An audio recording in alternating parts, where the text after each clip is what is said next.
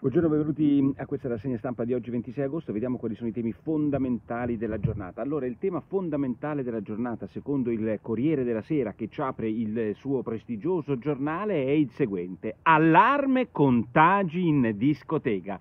Cioè il tema è che ci sono dei contagi in discoteca che sono state chiuse, sono state aperte per volere del governo, poi sono state chiuse e il problema fondamentale è allarme contagi. Buongiorno Simona, eh, l'allarme contagi nelle discoteche, posto che molte delle persone che sono in discoteca, tranne una pare eh, Flavio Briatore, sono positive ma non ammalate.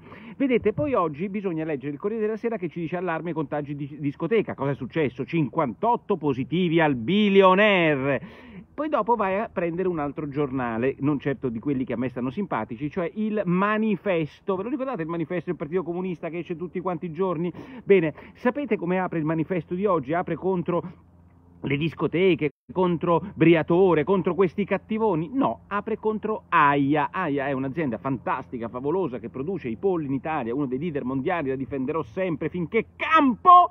Ma AIA, cosa è successo a questa grande azienda italiana? Che nel suo, ehm, diciamo, nel suo stabilimento ci sono 184 positivi, cioè nel solo stabilimento dell'AIA ci sono 184 positivi! Ma siccome l'AIA forse, a differenza di Briatore, non rompe le palle a questa politica, e poi lo capiremo, all'AIA che c'è 184 nello stabilimento, zitti e muti. Ovviamente il manifesto lo attacca perché odia gli imprenditori, gli sfruttatori e lì probabilmente sono positivi anche questi asintomatici, però per il manifesto c'è il problema dell'AIA. Invece per il serio Corriere della Sera il problema sono i 58 positivi al bilionaire, perché vigliaccamente rispetto agli altri giornali che ce l'hanno con Briatore fanno capire e non capire, perché qui il problema è Briatore. E sapete perché il problema è Briatore? Perché Briatore ha, insieme a Zangrillo e insieme ad altri, ha detto non che il virus non c'è, perché questa è l'altra cosa straordinaria, cioè anch'io vengo definito negazionista, io che mi sono preso il cazzo di virus e che sono nelle terapie dello Spallanzani vengo definito negazionista, il virus c'è, lo sa anche un bambino piccolo e soprattutto lo sa chi se l'è beccato,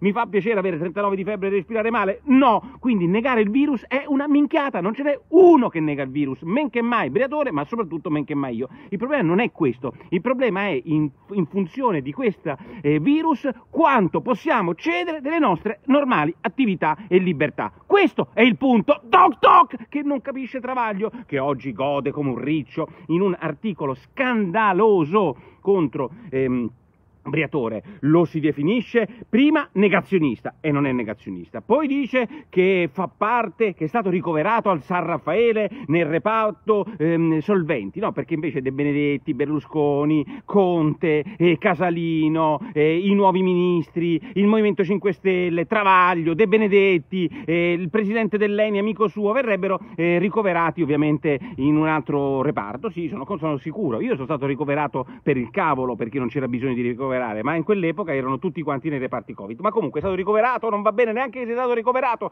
E poi, ovviamente, Briatore rappresenta tutta la destra, cioè è diventato un metra pensé di tutta la destra. E poi dice la solita destra impresentabile. Quindi negazionista, ricoverato a San Raffaele, tutta la destra è uguale a lui e lui e questa destra è impresentabile. E poi la minaccia, la minaccia è fantastica nell'ultimo pezzo di travaglio, poi inventeremo, poi eh, faremo l'inventario dei morti e dei feriti di questa campagna negazionista.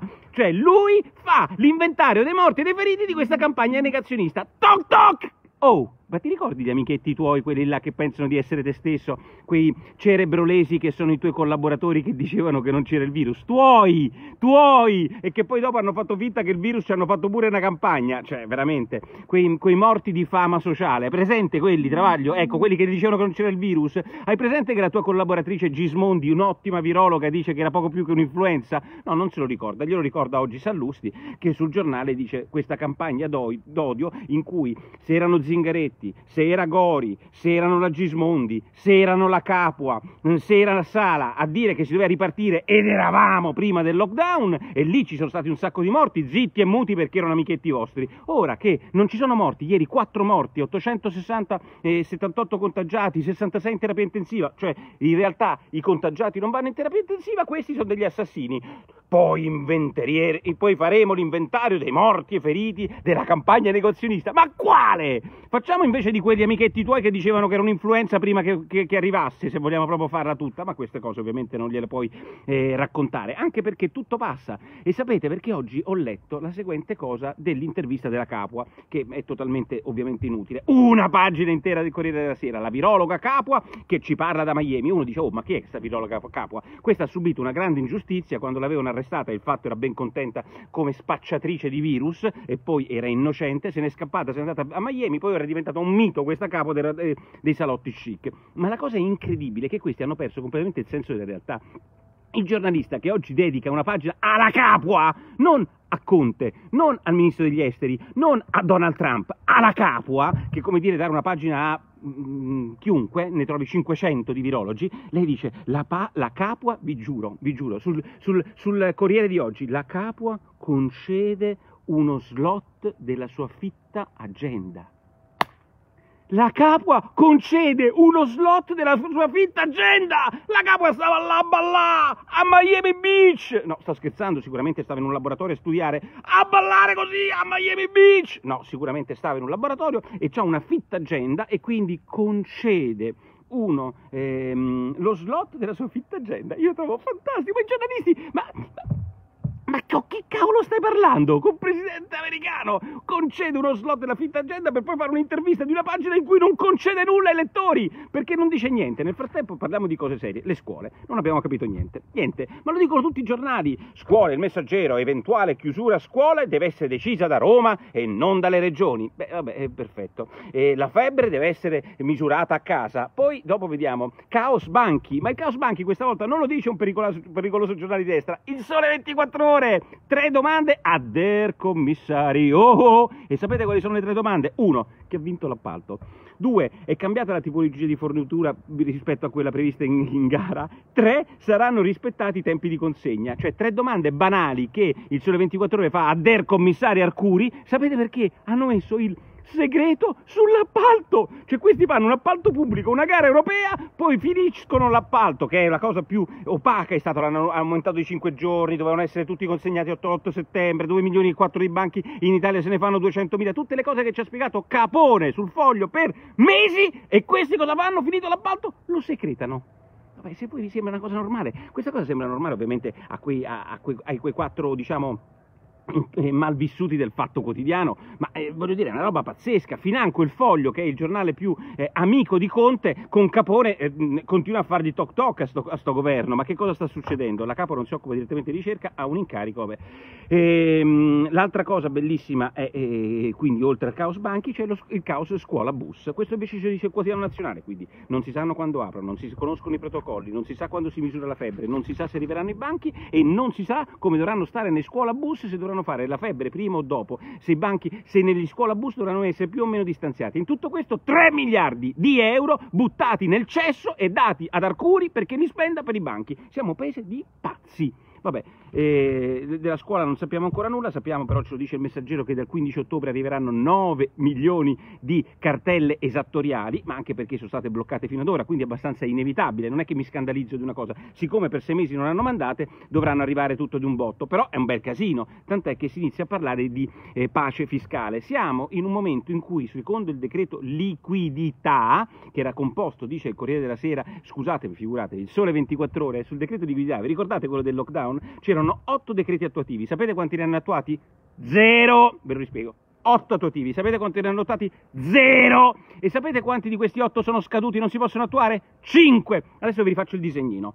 8 decreti attuativi questi geni. Quanti ne hanno attuati? Zero. Quanti sono scaduti? Cinque. Quanti ne rimangono? Tre. Li attueranno mai? Boh. E questi, capito, fanno le leggi e poi dicono che sono state attuate. Stupendo. Decreto eh, eh, liquidità. Sul referendum invece è il grande tema politico di oggi. E lì ci sono tutti i nostri professori giornalisti che fanno un pochino di pulci alla politica, perché obiettivamente il Parlamento ha votato a larga maggioranza la riduzione dei parlamentari, questi deficienti hanno votato la riduzione dei parlamentari e oggi lasciano libertà di coscienza. E, e allora lì c'è ragione, eh, come si chiama Pierluigi Battista, il simpaticissimo di Battista, no Battista, sul Corriere della Sera, perché dice ragazzi ma che vuol dire che lasciate libertà di coscienza sulla riduzione dei parlamentari? Mica stiamo parlando di un tema etico, stiamo parlando del funzionamento del Parlamento, ma siete matti! Quindi io devo dire che oggi ha proprio preso l'unico taglio che si potesse prendere prendere. Poi lui, Sorge e tutti gli altri mettono in con- le contraddizioni. La Lega, che ha votato quattro volte a favore del taglio dei parlamentari, ma come fa a lasciare la libertà di coscienza? L'Italia dei Valori, che ha fatto la riduzione dei parlamentari con il suo referendum, lascia libertà di coscienza. Tutto il casino che sta facendo Forza Italia, con cui i Carfagnani sono per il no, e, e soprattutto io più che Carfagnani direi uno per tutti, Simone Baldelli, che sento e ho visto in tempi non sospetti che fa una campagna disperata per il no. Lui ha sempre detto il no, ma Forza Italia è, è indecisa, alcuni per il sì, altri per il no. Insomma, questo un, un, dà il senso di una mancanza di leadership da tutti quanti. Zingaretti oggi fa una pagina e mezza sul Corriere della Sera per dire tutto il contrario di tutto, ma soprattutto dire una cosa.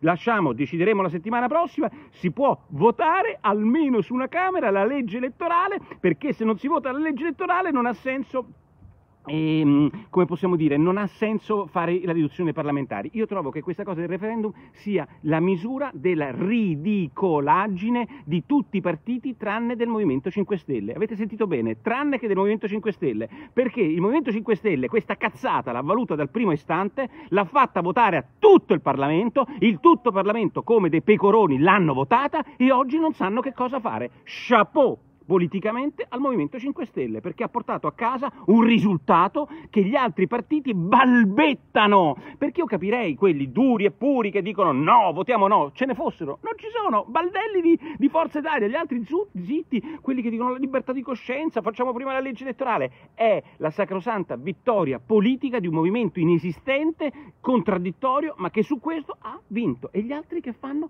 Pippa, come si dice a Roma. Rete unica Telecom è il vero tema politico ed economico di queste ore. Pensate un po' voi, anche questo messo in agenda da una dichiarazione estemporanea di Grillo. De Rosa e Pons, come vecchi tempi dell'Opa Telecom, i grandi esperti di telecomunicazioni, scrivono che cosa succederà. Sostanzialmente devono mettere insieme la rete di fibra fatta dall'Enel con la Cassa Depositi e Prestiti e la rete di fibra e l'ultimo miglio che ha sempre avuto Telecom. Chi comanderà in questa roba messa insieme è un casino. Secondo MF il 51% 10% sarà di Telecom ma comanderà la Cassa Depositi e Prestiti, insomma è una vicenda molto eh, complicata ma che nelle prossime settimane dovrà eh, svolgersi. Nel frattempo Due notizie stupende secondo me. La prima è l'incontro di Di Maio con il suo omologo cinese Wang Ji, se si pronuncia così. Beh, insomma, è questo incontro secondo, eh, stupendo, secondo Merlo del, del, sì, Merlo del, Corriere, Merlo del Foglio, in un eh, lirico pezzo dice che Di Maio ha, fatto fare, ha tenuto la schiena dritta su Hong Kong, la stampa Di Maio gela Pechino, tutte minchiate. Basta leggere Capezzone, ma anche le norme, le piccole cose che sono raccontate, in cui Capezzone dà questi idea secondo me straordinaria di quello che è venuto, uno srolotolamento del tappeto rosso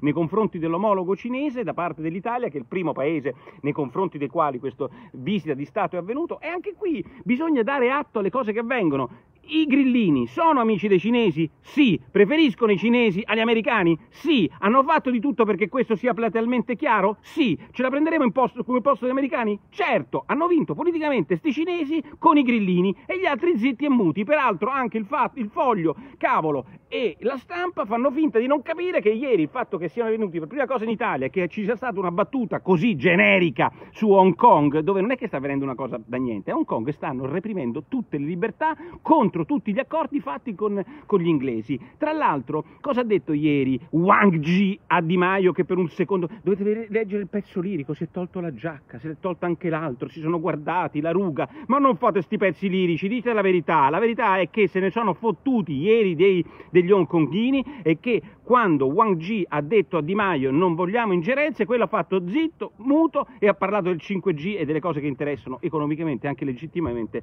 quel partito. Rosario va bene, Rosario, non Fiorello, ma è Rosario, quello che in, mm, eh, che i cattolici irlandesi tengono eh, appeso al collo e addirittura sul polso, va bene, dice Renato Farina oggi in un bellissimo pezzo sul Libero, quando a tenerlo è John Biden, nessuno lo prende in giro, ma se lo tiene Salvini e lo mostra Salvini è un problema, se lo fa Biden invece vicepresidente che div- potrebbe diventare presidente americano, zitti e muti, i nostri grandi laicisti di quello non si occupano. Palamara, eh, oggi i giornali ricordano la richiesta di processo per sette anni di lusso, come lui stesso ha definito la sua vita negli ultimi anni, grazie a viaggi, eh, alberghi, eh, insomma la scrocconaggine che per alcuni può essere considerato illegale, per altri più o meno, chissà se lo è per un magistrato e oggi eh, è sotto accusa. Basta sussidi, abbassare le tasse, la storia del ristoratore che oggi racconta sul tempo, la, poss- la, possibilità di non trovare ristoratori e camerieri perché quelli preferiscono per quanto dura ancora stare in cassa integrazione invece che lavorare. Allora, eh, allora perché non si sono baciati, dice Vanessa, vedrete quando ci saranno tutte le lampade rosse, ho una prostatite, ci sono ancora le malattie e vari problemi di salute, vabbè, speriamo che gli usi sbarchino in Italia per liberarci, dice qualcuno di voi, io vi dico che c'è ora un pezzo secondo me sulla questione Briatore di, eh, di Gervasoni sul mio sito nicolaporro.it, andatevelo a leggere perché eh, è eh, il, la prima notizia del nostro sito. Ciao a tutti quanti voi.